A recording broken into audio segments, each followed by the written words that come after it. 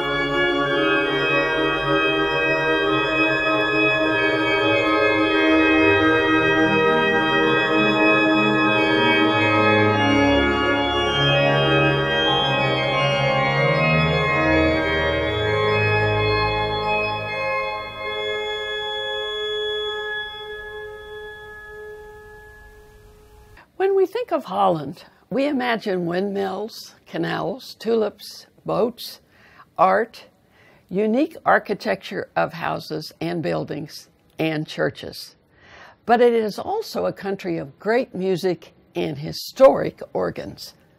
One of my favorite organs in the world, and my favorite, is the massive Müller organ of the Grote Kerk in Haarlem, Holland.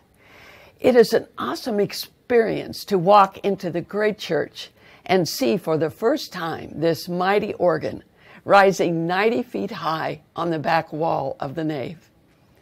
The most renowned organ in the world dates back to 1737. As a student at the Amsterdam Conservatory for a year, it was my joy to play many of the historic instruments of Holland, but none greater than this Mueller organ found in the St. Bavo Church of Haarlem.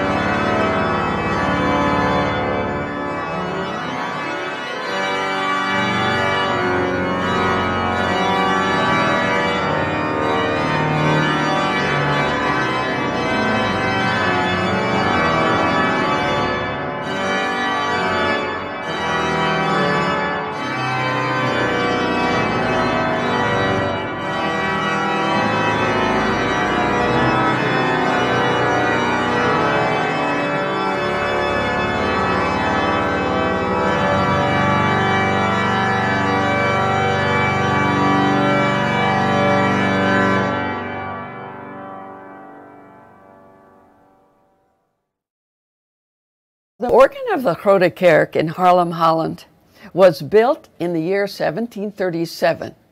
It was so famous in its day that both Mozart and Handel came to play this amazing instrument.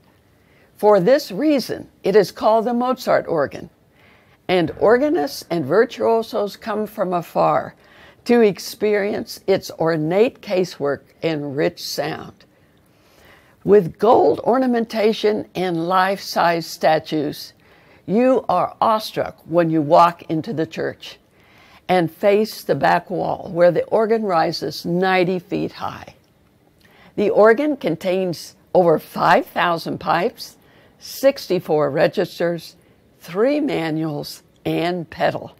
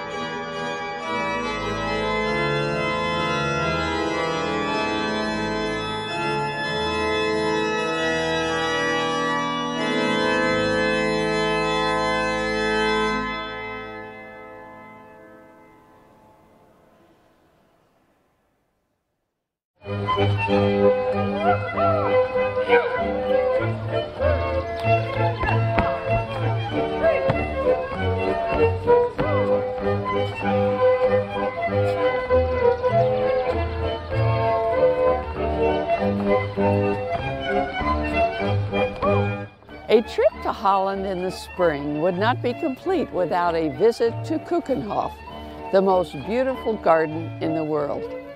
Here for approximately eight weeks in springtime, one may see and experience more than 7 million tulips, daffodils, and hyacinths, covering over 12 hectares with color and fragrance.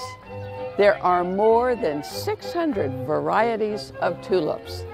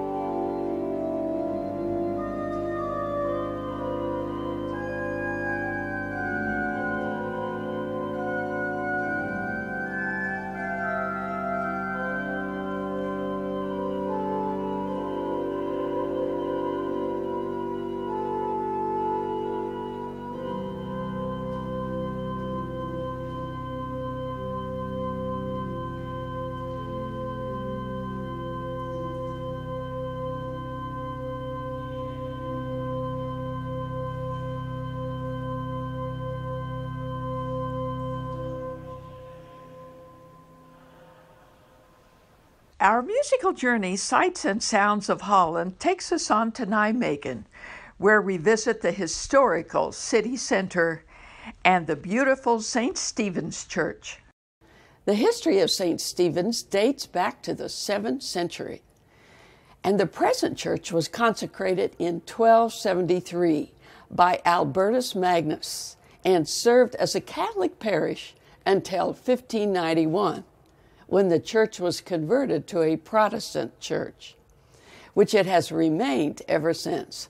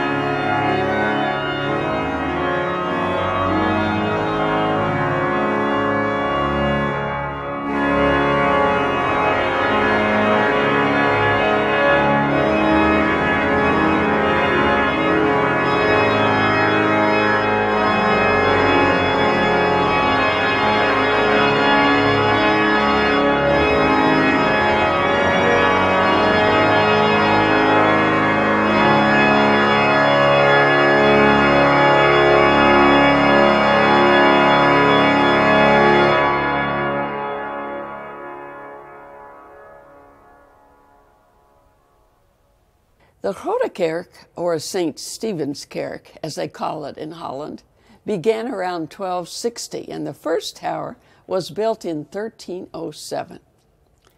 Little remains from this time. Around 1400, the nave was rebuilt, and this was followed by the magnificent choir with its ambulatory and ring of chapels. The aisle transepts and the south doorway all completed around 1560. Beside the church is a square tower with an octagonal belfry and an 18th century carillon. The tower and the facade of the church were rebuilt after suffering severe damage during the Second World War.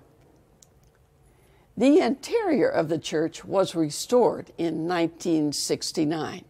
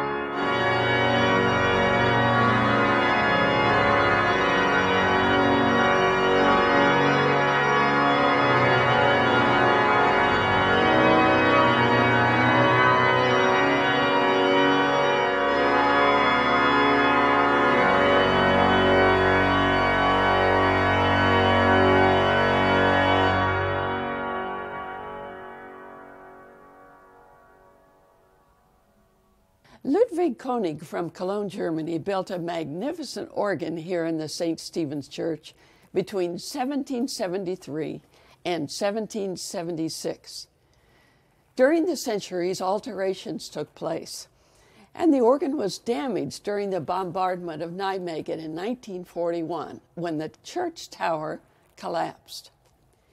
Rebuilt by the Flentrop Organ Company, it has three manuals and pedal. 54 registers, and over 3,600 pipes. Due to the wood covered vaulted ceiling, the organ sound is warm with a unique timbre.